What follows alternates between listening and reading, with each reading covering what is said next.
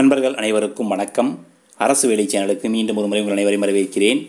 இந்த வீடியோவில் நம்ம தமிழ்நாடு அரசினுடைய மின்சாரத்துறையிலிருந்து புதிதாக அறிவிக்கப்பட்டக்கூடிய வேலைவாய்ப்பு தான் பார்க்க போகிறோம் பத்தாம் வகுப்பு பன்னிரெண்டாம் வகுப்பு தேர்ச்சி பெற்றவர்கள் இந்த பதவிகளுக்கு விண்ணப்பிக்க முடியும்.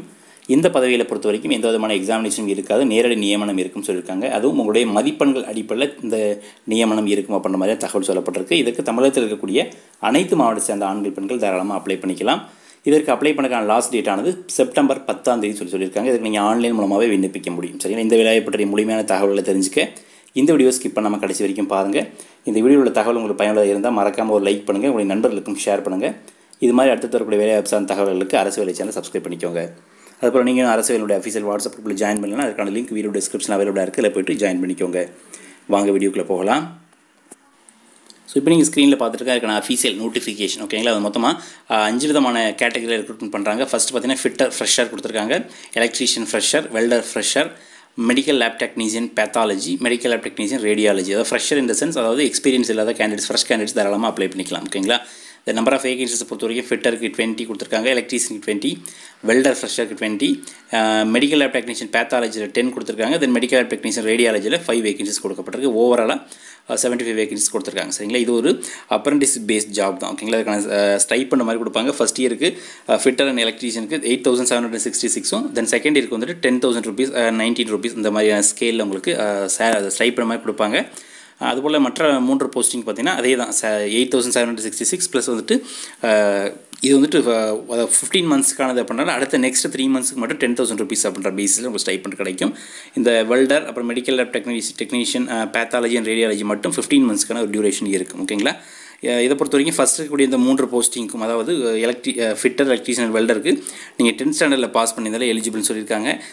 மற்ற ரெண்டு போஸ்டிங்கை பொறுத்த வரைக்கும் டுவெல்த்தில் சயின்ஸ் குரூப் எடுத்து பாஸ் பண்ணியிருக்கின்ற மாதிரியான குவாலிஃபிகேஷன் இதுக்கு வந்துட்டு அவங்க நிர்ணயம் பண்ணியிருக்காங்க. இதற்கான அதாவது ஏஜ் லிமிட்டை பொறுத்த வரைக்கும் ஒன்று ஆறு ரெண்டாயிரத்தி இருபது டேட் படி ஃபோர்டீன் இயர்ஸ் கம்ப்ளீட் ஆயிருக்குன்னு சொல்லியிருக்காங்க.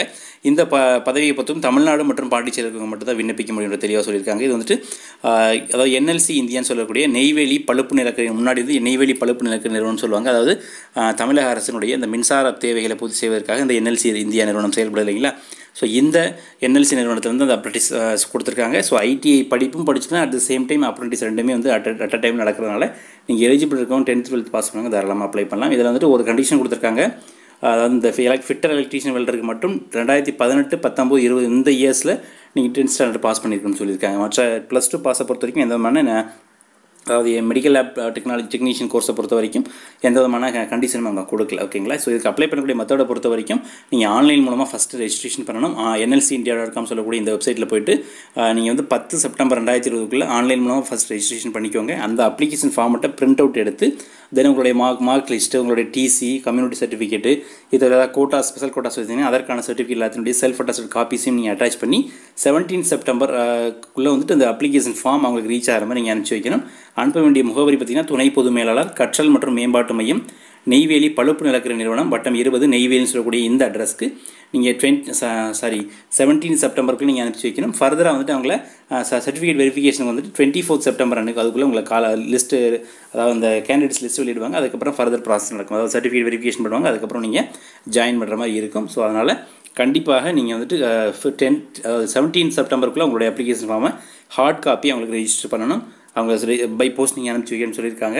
அதுக்கடுத்து பார்த்தீங்கன்னா நீங்கள் கட்டாயம் ஃபஸ்ட்டு ஆன்லைனில் அப்ளை பண்ணிட்டு தான் பண்ணணும் சரிங்களா? நேரடியாக எந்த அப்ளிகேஷன் ஃபார்ம் கிடையாது.